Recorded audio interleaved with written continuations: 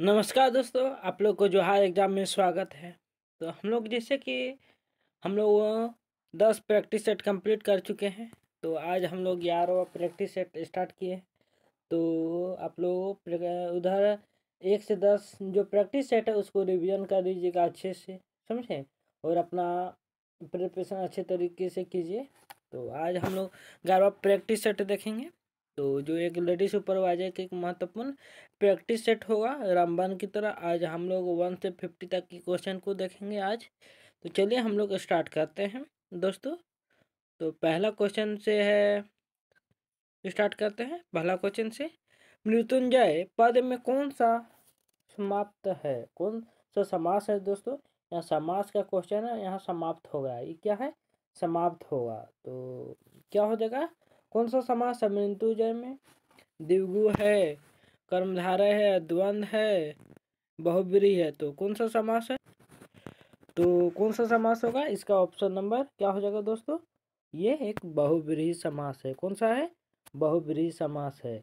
Mrityunjay. Next जिस समास में दोनों ही पद प्रधान हो, उसे क्या कहते हैं? तो उसे जो क्या कहता है उसे? तो द्विगु समास कहते हैं, द्वंद समास, तत्पुरुष समास या कर्मधारा है। जिस समास में दोनों पद प्रधान होता है। जैसे दोनों पद होना चाहिए, प्रधान हो, उसे क्या कहते हैं? द्वंद समास कहते हैं। क्या कहते हैं उसे? द्वंद समास कहते हैं दोस्तों। नेक्स्ट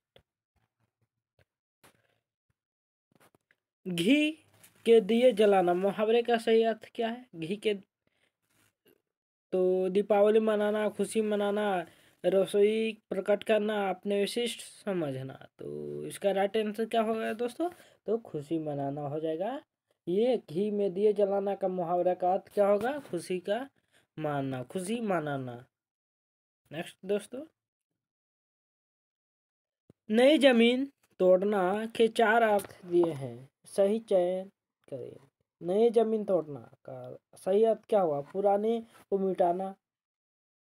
लिखे हुए को काटना, अंगूठा प्रयोग बड़ी लकीर खींचना। तो इसका राइट आंसर क्या होगा दोस्तों? इस महा, इसका अर्थ क्या होगा? नई ज़मीन का तोड़ना तो अंगूठा का प्रयोग करना ही इस, इसका सही अर्थ होगा। तो नेक्स्ट निम्नलिखित में कौन सी जातिवाचक संज्ञा है? मजदूर है, यश है, शत्रुता है, यश है, सेना है। तो कौन सा होगा जातिवाचक संज्ञा? तो दोस्तों, कौन होगा? मजदूर हो जाएगा जातिवाचक संज्ञा। नेक्स्ट शब्द प्रकार के आधार पर मनुष्यता शब्दों का कौन सा भेद होता है? तो कौन सा भेद है? गुणवाचक विशेषण, जातिवाचक विशेषण, भाववाचक विशेषण प्रेरणार्थक क्रिया। तो कौन सा होगा? दोस्तों तो राइट आंसर हो जाएगा इसका, भाववाचक संज्ञा हो जाएगा। नेक्स्ट निम्नलिखित प्रश्न में चार विकल्पों में से उस विकल्प का चयन करें जो सर्वनाम के भेद का सही विकल्प है, जिसको हम, हमने बुलाया था वह आया। तो ये क्या है? निश्चयवाचक है, संबंधवाचक है, उत्तम पुरुष या निजवाचक है। तो इसका राइट आंसर क्या हो जाएगा दोस्तों? संबंध वाचक है। नेक्स्ट। निम्न में से सर्वनाम शब्द है। कौन सा सर्वनाम शब्द है? पढ़ना वह घर गहरा तो कौन सा एक सर्वनाम पद है? वह है एक सर्वनाम, जबकि पढ़ना घर ये सर्वनाम नहीं है। नेक्स्ट दोस्तों मोहन हरि को मारता है। इस वाक्य में कौन सा कारक चिन्ह है? तो मोहन हरि को मारता है। इसमें कौन सा कारक चिन्ह है? करता है, कर्म है, करण है, संप्रदान है। तो कौन सा कारक होगा दोस्तों? तो इसका राइट आंसर क्या हो जाएगा? एक कर्म कारक है। इसमें मोहन हरि मोहन को मारता है तो इसमें कर, कर्म कारक है। नेक्स्ट दोस्तों। क्रिया के आधार पर सूचित करने वाला कारक है। अपादान कारक संबंध कारक अधिकरण कारक संप्रदान कारक। तो कौन सा कारक होगा दोस्तों? तो अधिकरण कारक हो जाएगा। नेक्स्ट जिस विकारी शब्द से संज्ञा की व्याप्ति मर्यादित होती है उसे क्या कहते हैं? विशेष्य विशेषण विशेष एवं विशेष विशिष्ट। तो इसका राइट आंसर क्या होगा दोस्तों? विशेषण हो जाएगा। नेक्स्ट निम्नलिखित में विशेष विशेषण एकमो का एक गलत है। कौन सा एक गलत है? सर्वसुलभ ताजी रोटी, कर्मनिष्ठ और भावी हल। तो इसका राइट आंसर क्या होगा दोस्तों? तो सर्व सुलभ हो जाएगा। क्या हो जाएगा? सर्व सुलभ नेक्स्ट निम्नलिखित वाक्यों में एक में सकर्मक क्रिया का प्रयोग हुआ है। मैं चला, वह नहाता है, लड़का सो रहा, लड़की सिल रही है। तो इसमें कौन सा चारों ऑप्शन में एक सकर्मक क्रिया का प्रयोग हुआ है दोस्तों? तो क्या हो जाएगा इसका आंसर किसमें हुआ है? लड़की सिल रही है, इसमें एक, यह एक सकर्मक क्रिया है। जबकि मैं चला, मैं ना वह नहाता है, लड़का सो रहा, ये अकर्मक क्रिया में है। इसमें जैसे मैं चला, कहाँ चल इसमें कुछ पता चल है? नहीं चल रहा। है वह नहाता है। क्या नहाना, इसमें पता चल कुछ? लड़का सो रहा। कितना सो रहा पता चल रहा है? नहीं। तो इसमें सकर्मक क्रिया इसीलिए होगा कि लड़की सिर रहे। तो लड़की ज़रूर एक कोई कपड़ा सिर रही है। तो इसीलिए ये क्या होगा? सकर्मक क्रिया हो जाएगा। नेक्स्ट किस वाक्य में पूर्ण द्विकर्मक क्रिया का प्रयोग हुआ? है मोर नाच रहा, महेश रुगन रुगन हो गया। राम ने रावण को मारा, ममता ने कुत्ते की रोटी खिलाई। तो इसमें द्विकर्मक क्रिया कौन सा प्रयोग हुआ है किसमें हुआ है दोस्तों? तो मम, ममता ने कुत्ते को रोटी खिलाई, ये इसमें द्विकर्मक क्रिया का प्रयोग हुआ है।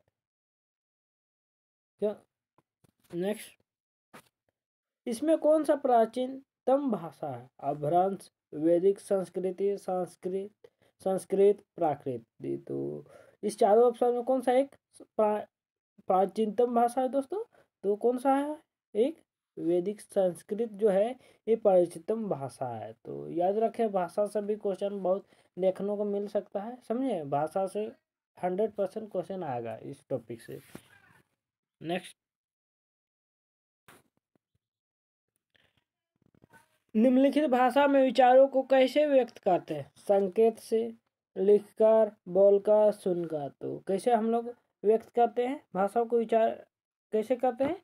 तो हम लोग क्या करके लिख कर व्यक्त करते हैं। नेक्स्ट पाली को भाषा भी कहा जाता है। लोक भाषा, देश भाषा, जन भाषा, देव भाषा।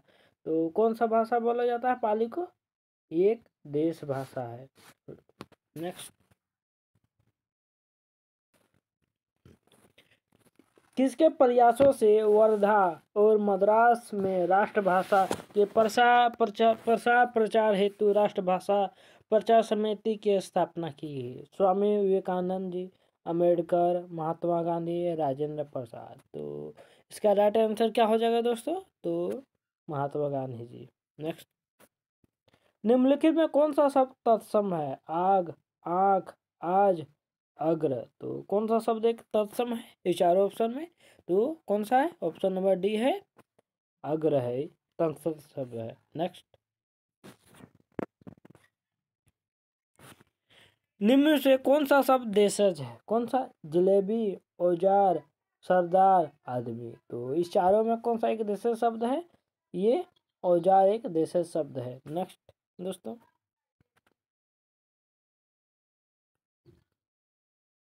जब कोई बोली या भाषा व्याकरण ढांचे में ढलकर व्यवस्थित रूप ग्रहण कर लेती है तो उसे क्या कहते हैं? राष्ट्रभाषा, राजभाषा क्षेत्रीय भाषा परिनिष्ठ भाषा, वन। तो क्या कहते हैं दोस्तों? तो इसका राइट आंसर क्या हो जाएगा? ऑप्शन नंबर डी हो जाएगा।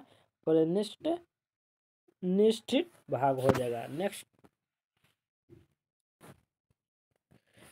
अपूर्ण अनुकरण का कारण होता है। विकृत मुख के कारण अज्ञानग्रस्तता के कारण बर्ड चूहा के कारण यह सभी। तो इसका राइट आंसर क्या हो जाएगा दोस्तों? डी ये तीनों सही है। नेक्स्ट किस शब्द को प्रथमा शक्ति कहा जाता है? तो किस, किसे कहा जाता है?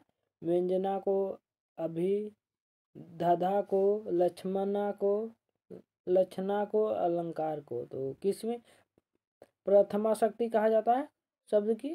तो क्या हो जाएगा दोस्तों? इसका right answer option number B हो जाएगा। नेक्स्ट संतान विषय एक रत्ती किस रस के अंतर्गत गण्य होता है? वात्सल्य रस, शांत, अद्भुत या करुण रस? तो कौन सा हो, होगा दोस्तों? तो ऑप्शन नंबर क्या हो जाएगा? ये हो जाएगा वात्सल्य रस।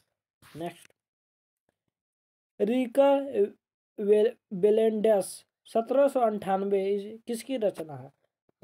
रूसो को वातेलियर का, वर्ड वर्ष का इलियट का। तो इसका राइट आंसर क्या हो जाएगा दोस्तों? ऑप्शन नंबर सी हो जाएगा। Next.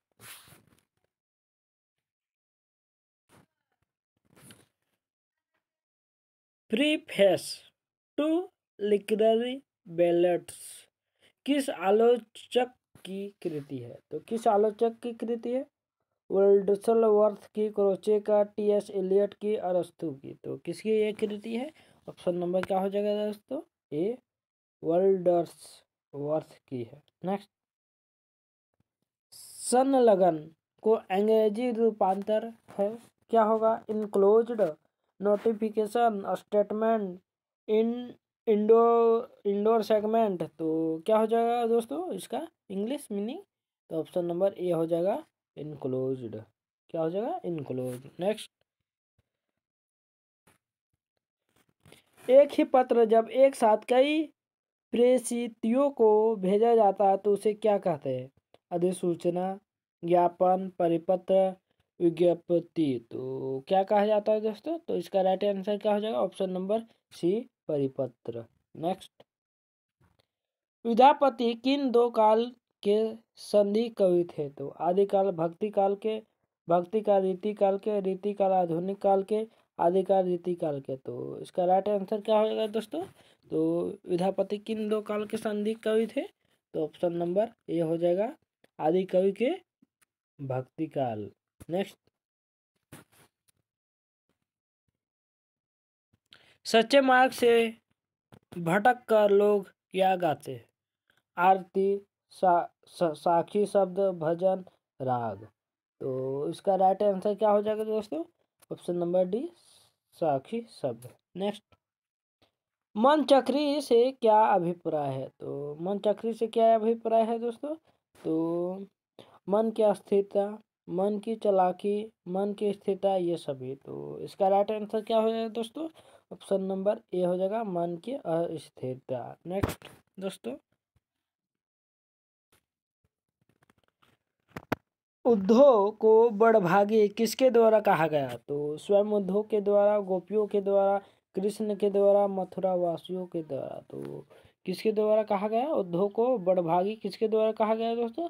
तो गोपियों के द्वारा। तो इसका राइट आंसर क्या जाए गोपियों के द्वारा। नेक्स्ट। तुलसी ने प्रथम किसकी स्तुति की है? सीता जी की, भगवान शिव की ब्रह्मा जी, गणेश जी तो किसके की है? तुलसीदास जी ने तो सीता जी के। नेक्स्ट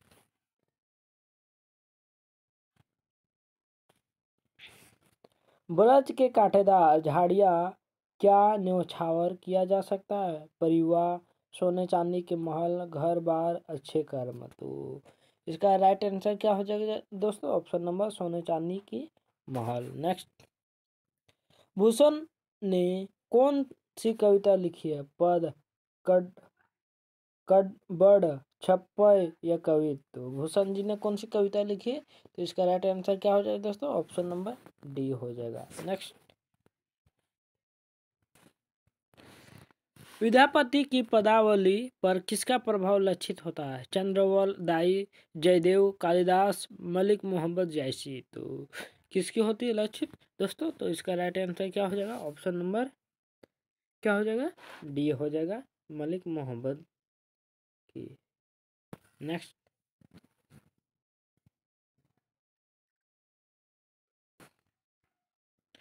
कबीरदास की पत्नी का क्या नाम था तो क्या था? नीलम, कमली, रोई, नीरू। तो क्या नाम था? कबीरदास की पत्नी का नाम? तो लोई नाम था।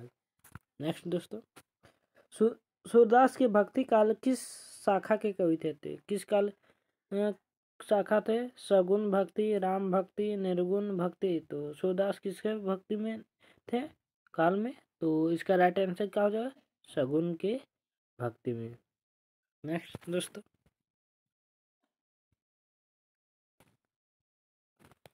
रामचरित मानस कैसा काव्य है? खंड काव्य है चंपू काव्य है मुक्त काव्य है, प्रबंध काव्य है तो कैसा काव्य है ये? रामचरित मानस ये प्रबंध काव्य है। नेक्स्ट बिहारी लाल का जन्म कहाँ हुआ था? गोरखपुर में, इटावा में, ग्वालियर में, जबलपुर में। तो कहाँ जन्म हुआ था? ग्वालियर में। दोस्तों, ग्वालियर में। नेक्स्ट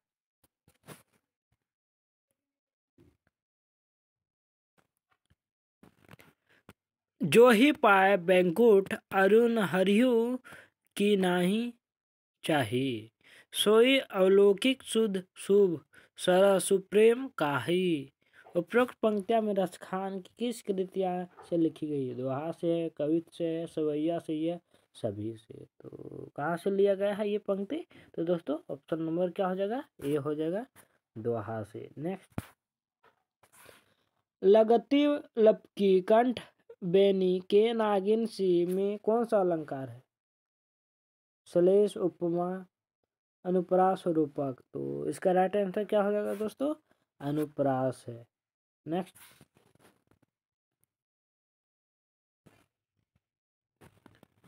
प्रेम संपत्ति लतास किसकी रचना है?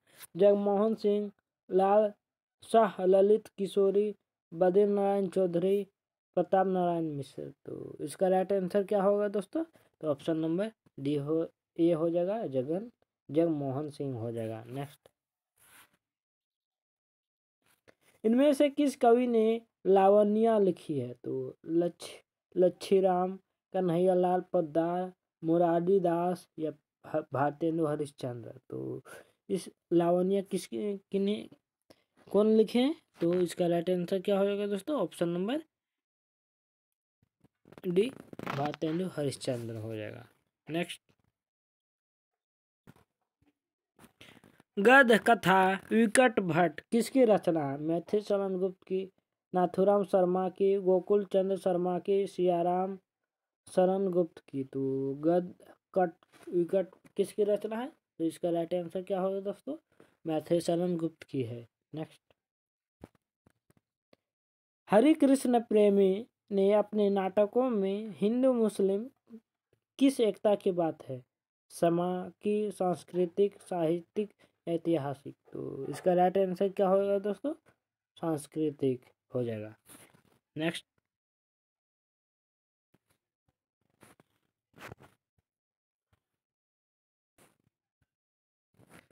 दिनकर जी कौन सी कृति कमाध्यात्मक की दार्शनिक पीठिका पर रची गई है। तो उर्वशी कुरुक्षेत्र हुकार या रश्मि मर्थी? तो रश्मि रथी तो इसका राइट आंसर कौन सा होगा दोस्तों? तो ऑप्शन नंबर ए उर्वशी हो जाएगा। नेक्स्ट इनमें से कौन सा काव्य निराला जी के द्वारा रचित नहीं है? परिमल, तुलसीदास, अनामिका कानन कुसुम। तो निराला जी का कौन सा नहीं है? ये चार ऑप्शन में तो कौन सा नहीं है? तो ऑप्शन नंबर डी नहीं है। कानून कुसुम, जबकि परिमल, तुलसीदास, ये निराला जी का ही तीनों है। नेक्स्ट दोस्तों। ताज और बाबू के प्रति शीर्षक कविता किसकी है? प्रसाद की, महादेवी की, निराला जी की पंत जी की। तो इसका राइट आंसर क्या हो जाएगा दोस्तों? तो ऑप्शन नंबर डी हो जाएगा। पंत जी की है ये। ताज और बापू की प्रति कविता नेक्स्ट लास्ट क्वेश्चन दोस्तों। आगे के किस कारण से बंदी बनाए गए थे? तो क्रांतिकारी कार्यक्रमों में सक्रिय रहने का, क्रांतिकारी के, क्रांति के प्रभाव होने के कहानियाँ जागरण देने के इनमें से कोई नहीं। तो इसका राइट आंसर क्या हो जाएगा दोस्तों? तो लास्ट क्वेश्चन का ऑप्शन नंबर ए हो जाएगा क्रांतिकारी कार्यों की सक्रिय रहने को। चलिए दोस्तों, आज लोग आज हम लोग यहीं तक समाप्त करता है। उसके बाद नेक्स्ट वीडियो में फिर कल मिलता है प्रैक्टिस सेट में। Thank you